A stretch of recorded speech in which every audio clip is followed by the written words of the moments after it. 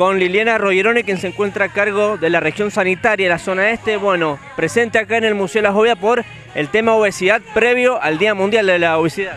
Exactamente, el Día Mundial se celebra mañana, 4 de marzo, pero como es día sábado y tenemos todo lo que es actividades de vendimia, se ha decidido hacerlo un día anterior para que puedan asistir todos los profesionales. ¿Qué es la obesidad? Bueno, la obesidad en sí es una patología, una enfermedad crónica este, que va de la mano de varias otras enfermedades y que lo que tenemos que hacer principalmente es prevención, no llegar a sobrepeso u obesidad para evitar todo lo que viene de la mano de ello, ya sea la hipertensión arterial, sea la diabetes, las enfermedades cardiovasculares, que son todos riesgos de que nos pueden este, producir la obesidad. ¿Existen síntomas? ¿Cómo nos podemos dar cuenta? ¿Hay estudios previos? No, los estudios previos es cuando vemos que hemos pasado el peso que deberíamos de tener, que eso lo va a determinar el médico clínico a través de un índice de masa corporal que se determina haciendo el peso, la talla del, del paciente, en base a esa relación Ahí podemos determinar si hay sobrepeso, si hay obesidad u obesidad mórbida. Cuando un paciente, bueno, le detectan la obesidad, ¿qué tiene que hacer? ¿Cómo es la alimentación? ¿Cómo es la vida?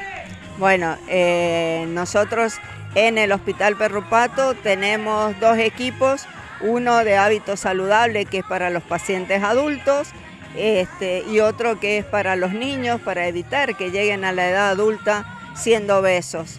Entonces hacer la prevención desde pequeños y bueno, eh, va siendo un equipo constituido por el médico pediatra en el caso de los adultos, el médico eh, de los niños, el médico clínico en caso de los adultos, psicólogas y eh, nutricionistas que van todos de la mano. O sea, es un equipo interdisciplinario que participa en el, en el abordaje del paciente. Bien. ¿El paciente se puede curar de esta enfermedad o no? Es curable es haciendo todo lo que los profesionales nos van indicando. Erika, bueno, presente también acá en el Museo de las Bóvedas con esta actividad que nos puede remarcar.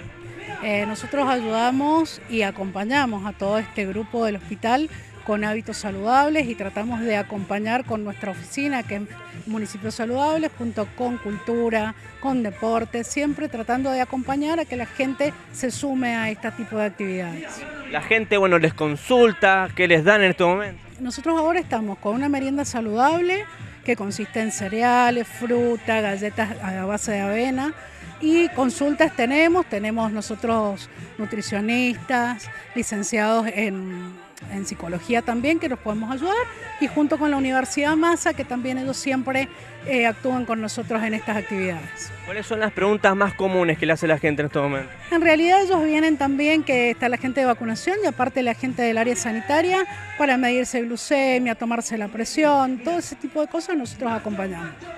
Con Gladys Aruta, quien es médica clínica y también bueno, está por el tema de obesidad. Bueno, en el día previo al Día Mundial de la Obesidad, bueno, actividades que se están desarrollando. ¿Cómo está el clima en estos momentos?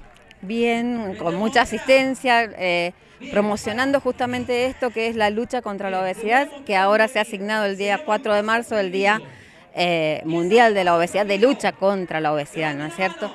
Eh, nosotros en el hospital trabajamos en un equipo interdisciplinario, eh, eh, abarcando la parte psicológica, nutricional, clínica, la parte del equipo de kinesiología que nos acompaña también y la parte de enfermería. ¿no? Estamos todos trabajando el equipo haciendo esta lucha, que es algo difícil, pero se tiene que entender. hay poca conciencia de lo que es obesidad como enfermedad.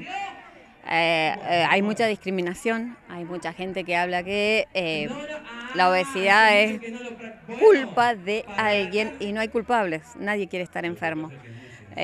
nadie quiere estar enfermo de diabetes, nadie quiere estar enfermo de hipertensión, nadie quiere estar enfermo de obesidad.